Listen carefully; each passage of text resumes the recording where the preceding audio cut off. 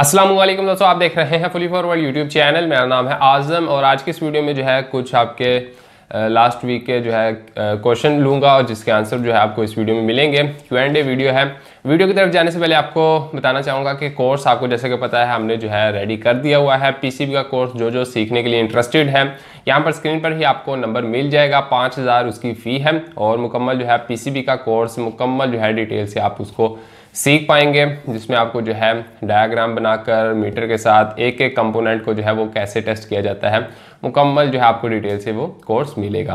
तो जो जो इंटरेस्टेड है वो इस कॉन्टैक्ट नंबर पर रबता करके कोर्स को हासिल कर सकते हैं। यहाँ पर सबसे पहले हमारे पास कमेंट आ जाता है। अब्दुल कादिर का जो पूछ रहे हैं कि, सर रिले की जगह क्या मैग्नेटिक कॉन्टैक्टर हम लगा सकते हैं? बिल्कुल लगा सकते हैं। इसके ऊपर मैं अभी रिसेंटली एक वीक पहले ही कुछ एक वीडियो में बना चुका हूँ। जिसमें जो है आप रिले को रिमूव करके आउटडोर यूनिट में जो पावर रिले लगी हुई होती है, उसको रिमूव करके आसानी के साथ उसकी जगह मैग्नेटिक कॉन्टैक्टर लगा सकते हैं। एक्चुअली में ये दोनों का काम एक ही है, सिर्फ़ देखने में डिफरेंट है और नाम में थोड़ा सा डिफरेंट है, लेकिन दोनों ही मैग्नेटिक कॉन्टैक्टर की तरह ही काम करते हैं। यहाँ पर एक भाई कह रहे हैं कि सर मैं सऊदी अरब में काम करता हूँ, वहाँ पर एक कैबिनेट है जो ऑन करने के बाद चौंसठ, यानी कि डिस्प्ले पर शायद यही बोल रहे हैं, चौंसठ सिक्सटी लिखा हुआ आ जाता है।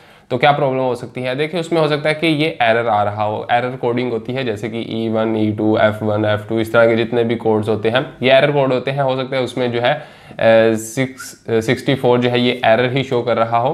अगर तो आप इंटरनेट पर सर्च करेंगे तो आपको इसका एरर मिल जाएगा आराम से।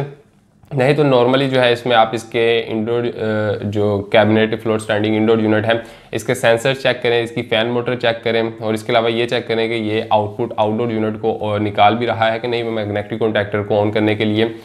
अगर नहीं निकाल रहा तो फिर इंडोर यूनिट की पीसीबी को ही चेक करें। इसमें सेंसर्स का ही नॉर्मल फोल्ड होता है। वैसे आप इंटरनेट पर अगर सर्च करेंगे तो इसकी डिटेल आपको वहाँ पर मिल जानी चाहिए। अमन प्रीत सिंह कह रहे हैं कि, सर एलजी का एसी है, जिसकी पीसीबी ऑन नहीं हो रही डिस्प्ले कुछ भी ऑन नहीं हो रहा। क्या प्रॉब्लम हो सकती है? ऐसी सिचुएशन में अगर कोई भी एसी है, किसी भी कंपनी का, उसका डिस्प्ले इंडोर ही ऑन नहीं हो रहा तो आपको उसमें इंडोर यूनिट में ही सबसे पहले तो मेन पावर सप्लाई चेक कर लेनी चाहिए कि आपके वोल्टेज वगैरह पूरे आ रहे हैं और वायर वगैरह डैमेज तो नहीं है, वो ठीक है। इंडोर यूनिट तक वोल्टेज पहुँच रहे हैं कि नहीं? अगर पहुँच रहे हैं तो फिर अगर आगे फिर नॉन इन्वर्टर है या फिर इन्वर्टर है, इनमें ट्रांसफार्मर लगा होता है, जो नॉन इन्वर्टर है, उसमें वो चेक कर लें कि वो जो है आगे 12 वोल्ट या 14 वोल्ट जितने भी आगे चाहिए 13 वोल्ट 12 वोल्ट नॉर्मल होते हैं वो आगे पीसीबी को दे रहा है कि नहीं ट्रांसफार्मर का इशू भी हो जाता है, लेकिन कई बार वो भी ठीक होता है। फिर आगे फ्यूज़ आ जाता है फ्यूज़ के बाद जो है, आगे इसका ब्रिज रेक्टिफायर आ जाता है, जिसमें या तो चार डायोड्स लगे होते हैं, या फिर ब्रिज रेक्टिफायर लगा होता है। उसमें इशू आ सकता है, या फिर इसमें एन लगी होती है, वो सीरीज़ में लगी हुई होती है, उसमें इशू आ सकता है। और ये चीज़ें जो है, इसकी मेन और इसके अलावा एक रिएक्टर है, जो अंडक्टर है अंडक्टर क्वाइल होते हैं। उसमें भी इशू आ सकते हैं। तो ये सारी चीज़ें जो है मैं पीसीबी कोर्स में बता चुका हूँ, जो कि पीसीबी कोर्स मैंने वीडियो को स्टार्टिंग में भी मैंने बताया। कॉन्टैक्ट नंबर आपको वीडियो को स्टार्टिंग में मिल जाएगा। आप कॉन्टैक्ट करके पीसीबी कोर्स अगर सीखना चाहते हैं तो वो भी जाकर आप सीख सकते हैं। तो ये बेसिक चीज़ें होती हैं कुछ ऐसी, जो कि आप का पीसीबी ही ऑन नहीं करवा रही होती, उनकी स्टार्टिंग में लगी हुई होती है, जैसे फ्यूज़ है। ये सारी फ्यूज़ की तरह ही समझ लें। और इनमें से कोई भी एक चीज़ अगर ख़राब है जाती है, डेड हो जाती है तो ये सीरीज़ में लगी होती है तो आगे करंट जाना ही रुक जाता है, बंद हो जाता है तो इसीलिए आपका एसी डिस्प्ले कुछ भी ऑन नहीं हो रहा होता। तो ये चीज़ें आपको चेक करनी चाहिए। ये वाली कह रहे हैं कि सर इन्वर्टर एसी के आउटडोर यूनिट को डायरेक्ट हम चालू कर सकते हैं। बिल्कुल हम वैसे चालू तो नहीं कर सकते क्योंकि अगर इंडोर यूनिट हमारा पास होगा या फिर इंडोर यूनिट की पीसीबी होना ज़रूरी है इंडोर यूनिट की पीसीबी होगी फ़ैन मोटर होगी कंप्लीट चीज़ें इसकी होंगी तो ही आप कर पाएँगे। इसमें इवन के सेंसर भी अगर नहीं है या फ़ैन मोटर इंडोर की नहीं है तो वो एरर दे देगा आउटडोर तक पहुँचेगा नहीं करंट ठीक है? तो मुकम्मल इंडोर आउटडोर पीसी जो इन्वर्टर एसी है, जो नॉन इन्वर्टर एसी है, उसमें तो हम इंडोर को भी अलग से चला सकते हैं आउटडोर को भी अलग से चला सकते हैं आउटडोर में फिर कंप्रेसर को भी अलग से चला सकते हैं। इसमें जो है, हमें पीसीबी लगाना ज़रूरी है, इसके कंप्रेसर को हम डायरेक्टली नहीं चेक कर सकते। हाँ इसके लिए कोई डिवाइस बनाई जाए, अगर इन फ्यूचर कोई आई तो वो मैं आपके साथ ज़रूर शेयर करूँगा। अभी तक जो है, इसको डायरेक्ट नहीं चलाया जा सकता। पीसीबी के साथ ही हम इसको टेस्ट कर सकते हैं। तो जो है इसका इन्वर्टर एसी जो है इसके आउटडोर को हम डायरेक्ट नहीं चला सकते। जो नॉन इन्वर्टर है, उसको हम इजीली चला सकते हैं। अब्दुल मनीर कह रहे हैं कि, सर, दो टन, तीन टन एसी में आर ट्वेंटी टू गैस जो है, वो कितना चार्ज होगा, उसके ऊपर डिटेल नहीं लिखी हुई स्टिकर नहीं लिखा हुआ।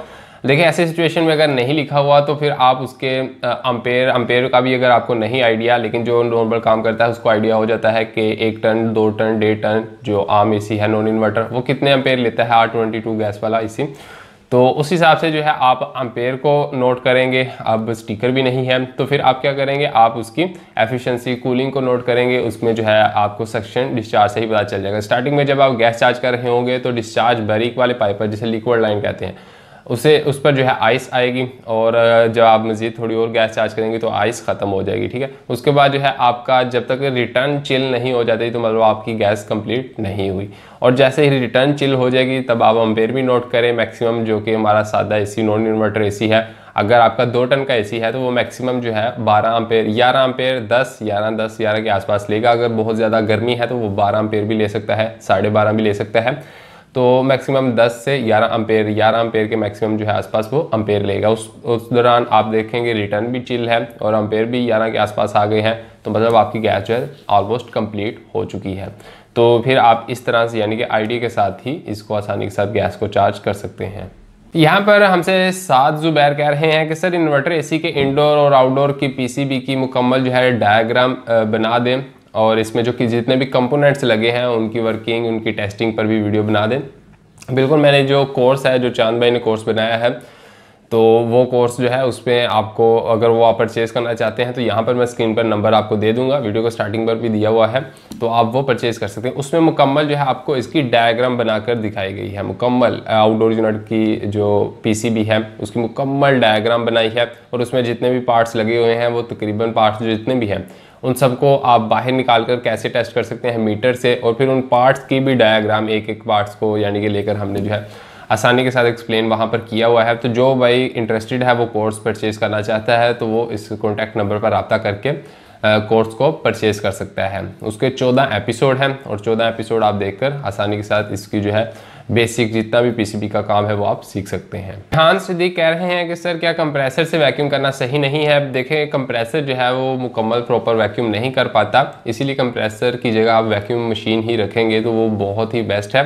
वैक्यूम मशीन से आप 100 परसेंट रेफ्रिजरेटर हो एयर कंडीशनर उसको वैक्यूम कर पाते हैं और जो आपका नॉर्मल कंप्रेसर है, उसकी इतनी पावर नहीं होती कि वो आपको जो है सही प्रॉपर वैक्यूम दे सके। तो बेस्ट यही है कि आप वैक्यूम मशीन रखें।